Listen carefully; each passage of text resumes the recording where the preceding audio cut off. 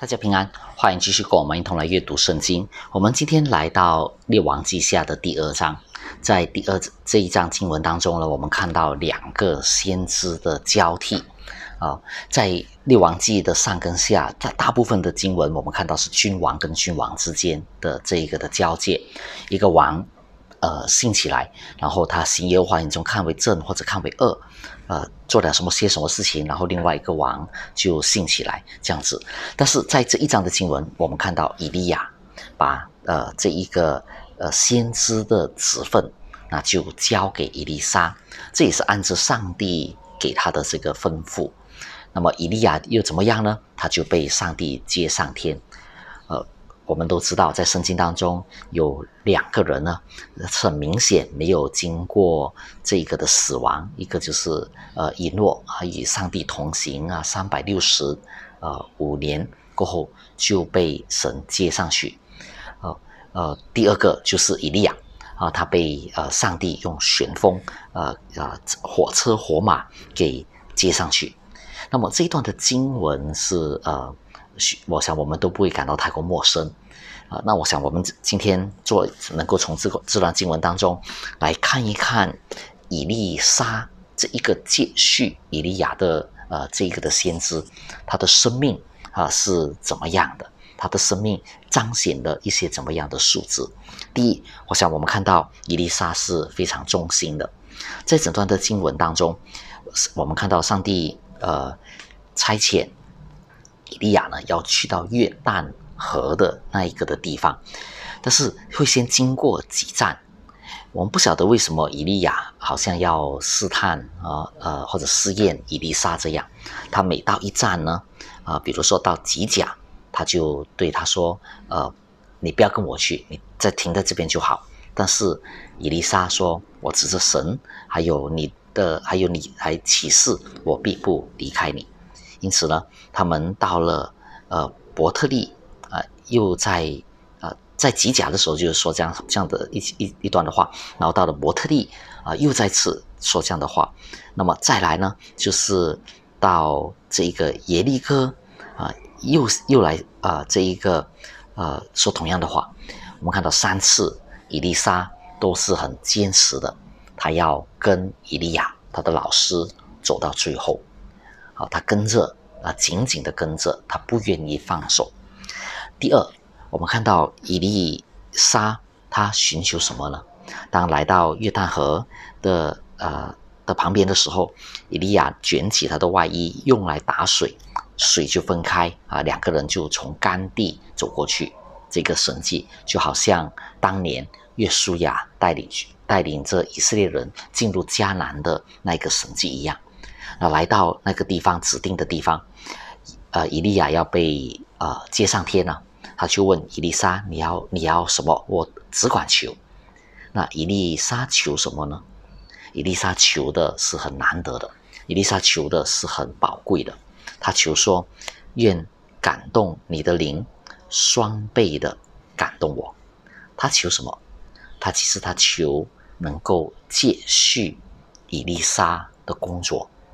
他求能够接续伊丽莎先知的职分，他清楚知道伊丽莎的侍奉、伊丽莎的工作是因为上帝的灵与他同在，因为上帝的灵感动他。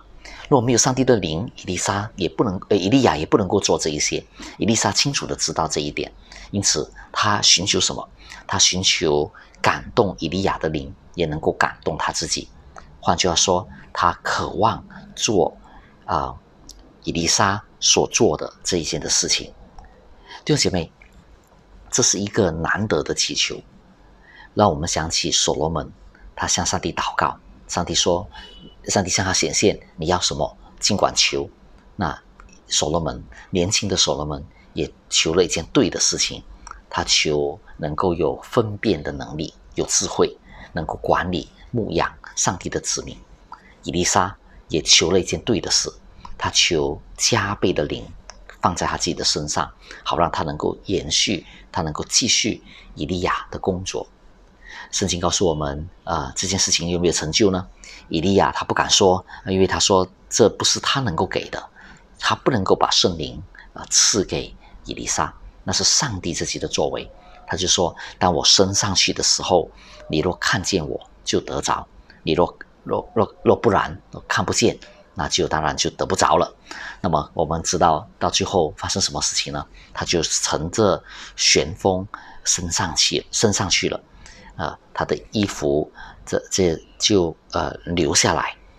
我们看到这就是呃这一件的事情。伊丽莎有没有得着这个权柄呢？当他拿起。呃，伊利亚留下的那一个的外衣打水的时候，水也分开，我们就知道伊丽莎啊得到了这个双倍的灵，是上帝自己的工作，上帝肯定会使用伊丽莎，因为这本来就是上帝指明的，而伊丽莎也顺服到底。第三，我们看到当呃伊丽莎领受了这一个双倍的灵的感动的时候。我们就开启了另外一个先知服侍的生涯，不是以利亚了，现在是伊丽莎的时代。那伊丽莎在这段经文当中，立刻有两个的神迹，而这两个神迹也，呃，在某一个程度上说明先知的这一个的工作。第一个神迹是宣布医治得生命的神迹，在耶利哥的那一个的地方，呃。因为这个的水源不行啊，那个呃呃水很很糟糕，地没有生产。那么伊丽莎呢，就拿了一个新的瓶，装了些盐，就倒在这一个的水源上，那水就被医好了。伊丽莎就宣告说：“呃，从这里不从呃从这里呢，就不会再有死亡和不生产的事了。”这是第一样。他宣告，他宣布得生命的信息，祝福人的信息，啊啊啊啊，让人能够从神那边得到帮助的信息。第二个信息就是审判的信息，因为另外一个神迹就是当他在路上行走的时候，有一些的在伯特利啊，他回城嘛，啊，从耶路耶利哥回伯特利，在回城的时候，有一些甚至说一些孩童啊啊。这个从城里面出来，呃，相当多人，因为他们当中就有四十二人啊，到最后是被熊撕裂的，啊，可能还他们当中的四十二人就表示可能还有更多了，啊，可能会不会是一百个啊，八十个等等，那相当多。孩童是指啊幼儿园的孩子吗？不一定啊，这里的孩童可以是指少年人，可以是指呃，有些学者就说这个大概是一些流氓啊，而且人数众多。